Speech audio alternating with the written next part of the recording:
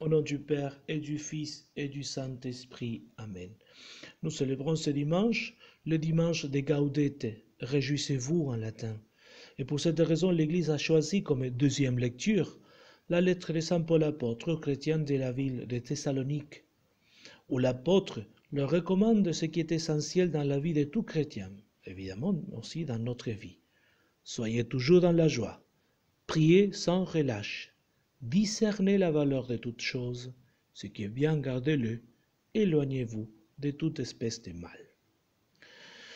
Ce dimanche, de Gaudete vient aussi marquer une halte dans le temps de pénitence, au temps de l'Avent, pour prendre force et anticiper la joie de Noël. La liturgie de la parole nous présente ce qu'on appelle le témoignage de Saint Jean-Baptiste dans l'Évangile, le témoignage qu'il donne sur lui-même. Il est intéressant de voir la réponse de Saint Jean-Baptiste à ceux qui viennent le questionner sur sa personne, sur sa mission. D'abord, il dit ce qu'il n'est pas. Il déclara ouvertement Je ne suis pas le Christ. Et après quelques réponses toujours négatives, il finit pour se donner un nom, plutôt révéler sa mission. Je suis la voix de celui qui crie dans les déserts. Il se considère, dans son humilité, comme une voix, même pas une personne, comme une simple voix, pas même une parole. Hein.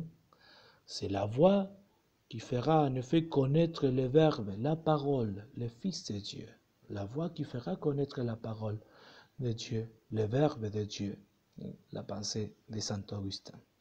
Saint Jean montre avec toute sa vie comment il vivait cette grande vertu qui est l'humilité. Suivant l'exemple de Saint Jean-Baptiste, nous disons que l'humilité regarde essentiellement la subordination de l'homme à Dieu. Et pour cela, l'exemple de Saint Jean-Baptiste, c'est-à-dire notre relation avec Dieu. Et à cause de cette subordination à Dieu que l'homme, c'est que l'homme se soumet aussi aux autres lorsqu'il s'humilie disant je m'abaisse devant les autres seulement à cause de Dieu.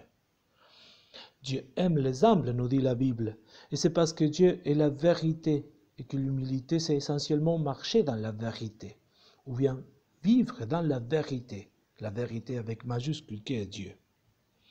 Cela est une pensée de Sainte Thérèse d'Avila. Elle disait, la sainte docteur de l'Église, l'humilité, c'est marcher dans la vérité. La vérité, c'est marcher devant Dieu.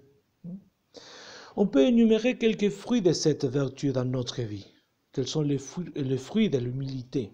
D'abord, elle nous rend forts, mais forts en Dieu. Cela veut dire qu'elle augmente notre confiance en lui, donnant aussi la paix à notre âme, parce qu'on est convaincu que tout dépend finalement de Dieu, tout dépend finalement de lui. Et nous assure aussi la vertu de l'humilité nous assure une prédilection de Dieu. Dieu choisit le cœur humble pour y établir sa demeure, comme Marie, que le Seigneur a choisi pour s'incarner et venir dans ce monde.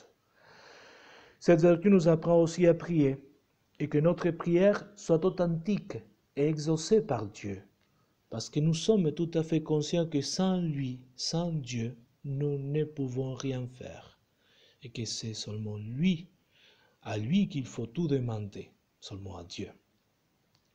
Il nous fait toujours grandir dans la grâce et qui est comme l'eau de la pluie, il va toujours remplir d'abord les vallées les plus profondes. Cette grâce qui descend du ciel va remplir seulement les vallées les plus profondes, creusées par la vertu de l'humilité. Enfin, l'humilité nous permet de faire de grandes choses, des merveilles, sans nous gonfler de l'orgueil nous nous préparons pour la grande solennité de la nativité du Seigneur. Il serait bon de préparer nos cœurs, comme disait saint Ignace de Loyola lorsqu'on contemple la naissance de Jésus. Il dit, le saint, je me tiendrai en leur présence, la présence de Joseph, de Marie et de l'enfant Jésus, comme un petit mendiant, comme un petit esclave, indigne de paraître devant eux. Je les considérerai, je les contemplerai, je les servirai dans leurs besoins avec tout l'empressement et tout le respect dont je suis capable, comme si je me trouvais présent à ce moment-là, au moment de la nativité du Seigneur. Aussi, que c'est pour nous que euh, Dieu nous donne la grâce d'avoir cette vertu, de travailler dans cette vertu de l'humilité pour nous présenter devant, devant la crèche, devant l'enfant Jésus qui vient, qui va naître pour nous, qui vient de naître pour nous, comme un petit esclave, comme un mendiant, pour recevoir de lui toute grâce. À la très sainte Vierge Marie, nous demandons aussi cette grâce. Au nom du Père et du Fils et du Saint-Esprit. Amen.